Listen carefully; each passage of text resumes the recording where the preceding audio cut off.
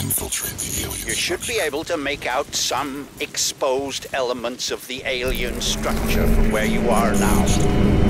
The ship Lockhart's pilot shut down They had to have docked somewhere above ground.